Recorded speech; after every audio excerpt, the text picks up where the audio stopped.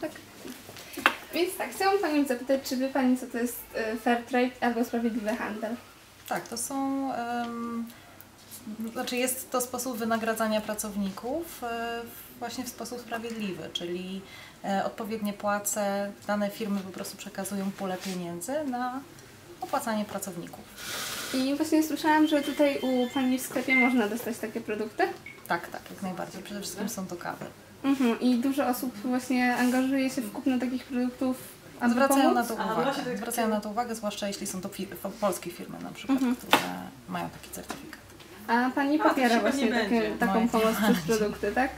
Aha, No no. może Pani powie, Pani ma na No tyle.